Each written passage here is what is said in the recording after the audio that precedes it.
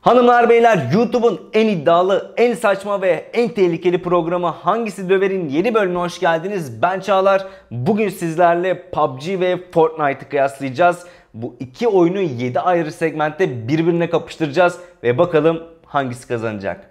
Şimdi bu iki oyunu öncelikle oyun tasarımı üzerinden değerlendireceğiz. Yani mekaniklerini inceleyeceğiz. İlk başta PUBG'yi ele alalım. PUBG biraz daha gerçekçi, biraz daha ağır oynanışı olan bir oyun Fortnite'a göre. Yani burada ekipmanlarınız da, silahlarınız da biraz daha gerçek hayattan e, esinlenilerek kullanılıyor. Ve bunların yanı sıra da araçlar bulunuyor. Yani mesafeleri açmak için siz işte motor ya da araba gibi araçlara binip e, hareket ediyorsunuz. Bir de siz oyunu FPS ve TPS olarak deneyimleyebiliyorsunuz ayrı ayrı olarak.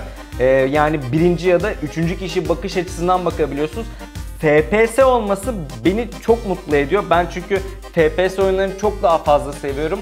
PUBG'yi de bu açıdan oynamak daha gerçekçi kılıyor bence. Ama sevmediğim kısımlardan biri de oyunun e, bu uzak mesafeleri ve e, işte çatışma mekaniklerinin daha taktiksel olmasından dolayı çok daha ağır üzerine kurulu olması. Ama öte yandan Fortnite daha hızlı çatışmaları, daha casual bir oynanışa sahip. E, daha dar alanlarda geçiyor. Harita biraz daha küçük ya da e, karşılaşmalarınız daha hızlı sonuçlanıyor oyunda. Bir de araçlar yok yani araba ya da motor kullanmıyorsunuz Fortnite'ta. Onun yerine e, bazı mesafeleri kat etmek için size verilmiş tool'lar var. Bunlar işte paraşütünüz var, paraglider'lar var, jetpack'ler var. Oyunun en önemli mekaniklerinden bir tanesi inşa etmek. Fortnite'ta hem kendinize üst kurabiliyorsunuz hem de siper sağlayabiliyorsunuz.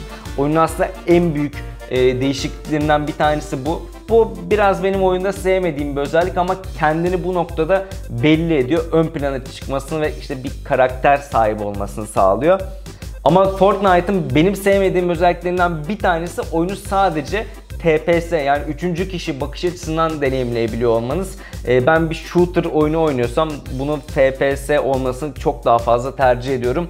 Bu sebepten dolayı da benim kişisel puanım PUBG'ye gidiyor. Burada ilk puanı PUBG alıyor. Şimdi ikinci segmentte bu iki oyunu grafikleri ve biraz da sanat tasarımı olarak e, ayıracağız. E, PUBG bu konuda daha gerçekçi bir deneyim sağlamaya çalışıyor. Aynı işte simülasyon tipi oyun yapısında olduğu gibi sanki gerçekten oradaymışsınız gibi deneyim etmenizi istiyor.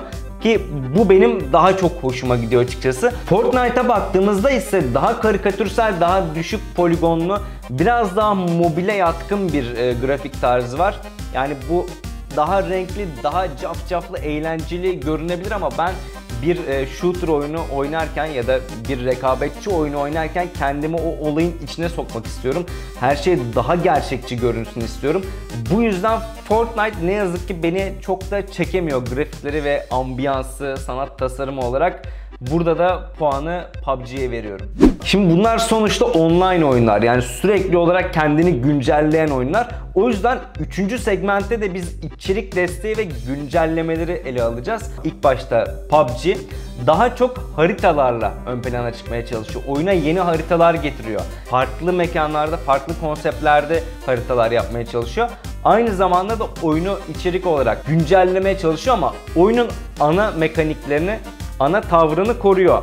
Ama Fortnite'ın hani dedik ki o karikatürsel yapısı, kendini ciddiye almayan bu yapısı ona daha geniş imkanlar sunuyor açıkçası. Daha ilginç oyun modları, daha çeşitli farklı böyle absürt ekipmanlar e, gelebiliyor. Mesela işte jetpack geliyor ya da işte bomba geliyor. Düşmanlarınızı atıyorsunuz, dans etmeye başlıyorlar ve siz onları etkisiz hale getirip vurabiliyorsunuz. Veya geçenlerde mesela Thanos modu geldi Infinity War filminin ardından. Bu açıdan Fortnite kendini başka şeylere, popüler kültüre de daha adapte edebiliyor. Ama nedense harita güncellemesi yapmıyor. Tek bir haritadan gidiyor. O haritanın içini güncelliyor biraz da. Bir karşılaştırma yapmam gerekirse bu noktada e, daha eğlenceli işte oyuncunun ilgisini daha süre orada tutabildiği için burada puanı Fortnite alıyor. Şimdi dördüncü seçeneğe geldiğimizde şunu görüyoruz. Bu oyunlar devasa oyunlar. Dünyanın en çok oynanan oyunlarından iki tanesi. Ve en çok oynanan online oyununuz varsa ne yapacaksınız? E-spora yöneleceksiniz. Tabi burada komünite önemli, yerelleştirme önemli ve e-spora yatkınlık önemli. Şu noktada e, PUBG daha uzun süredir mesela bu e-spor ve komünite işlerinde yatırım yapıyor. Fortnite geçenlerde 100 milyon dolarlık bir yatırım yapacağını açıkladı. Ee, ünlüleri bir araya getirip onlarla turnuva yapmaya başladı.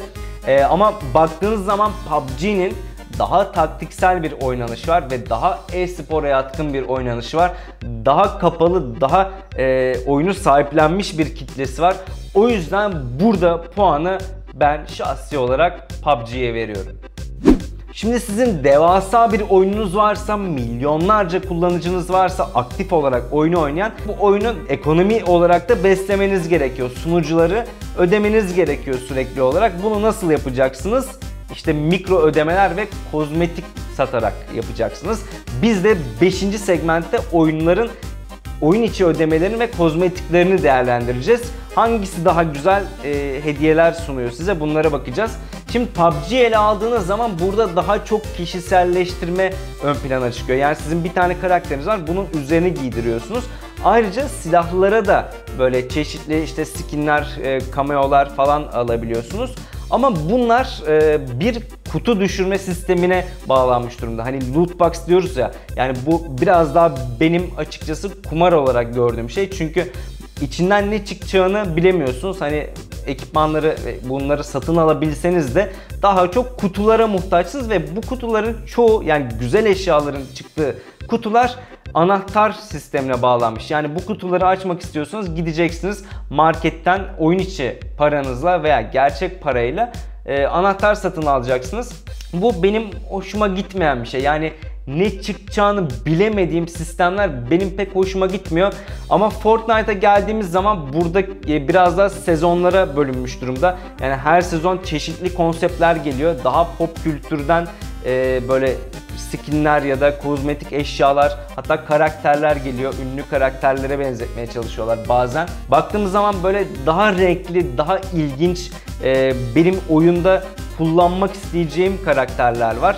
E, bu biraz daha günlük challenge'lara ya da direkt ödemeye bağlanmış. Kutu düşürmüyorsunuz.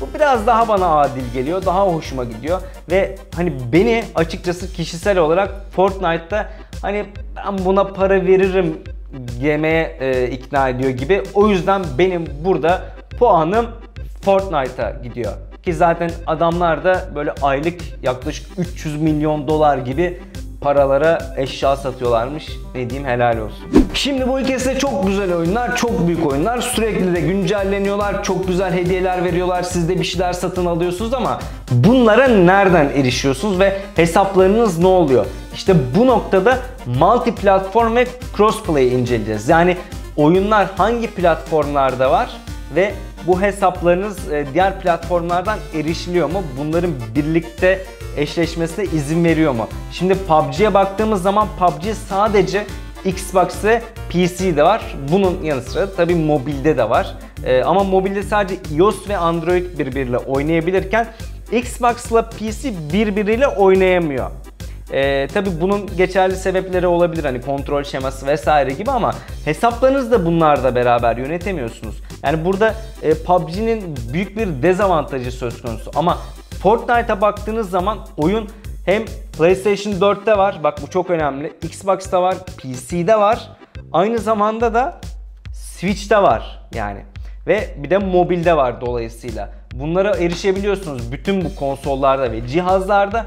Aynı zamanda Fortnite'ın en önemli özelliklerinden bir tanesi crossplay. Yani tek hesapla bütün bu cihazları hükmedebiliyorsunuz. Hesabınızı bütün bu cihazlarda aynı hesapla kullanabiliyorsunuz. İşte hani ilerleme sisteminiz ve satın almalarınız hepsine aynı gözüküyor. Sadece PlayStation hariç. Yani Sony niye böyle bir şey yaptı bilmiyorum. Bayağı da tepki çektik bu, bu konuda. Ama PlayStation hariç. Bu noktada bu yüzden bütün bu sisteminden dolayı bu burada puanı Fortnite'a veriyorum. Şimdi son segmente geldiğimiz noktada iki oyunda beraber. İkisi de 3 puana sahip ama burada alacakları puan bu programın galibini belirleyecek. Ee, işte bu segmentte de bu iki oyunun fiyatı ve erişilebilirliğini konuşacağız. Şimdi PUBG'ye baktığımız zaman PUBG 30 dolarlık bir ödeme seçeneğiyle karşımıza çıkıyor. Yani ülkemizde 70 lira gibi bir e, rakama tekabül ediyor bu.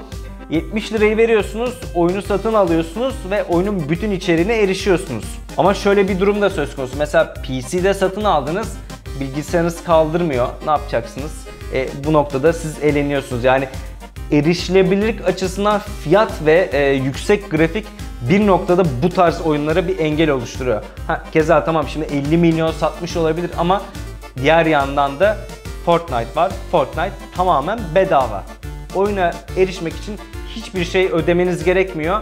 Aynı zamanda da hani 2-3 GB gibi çok da küçük bir e, indirme boyutu var oyunun. Hani grafikleri dedik ya şaşalı değil böyle daha karikatürsel, daha düşük poligonlu. Hem bu yüzden kolayca indirebiliyorsunuz, bedava oynayabiliyorsunuz. Aynı zamanda da hani kota dostu olmuş oluyor.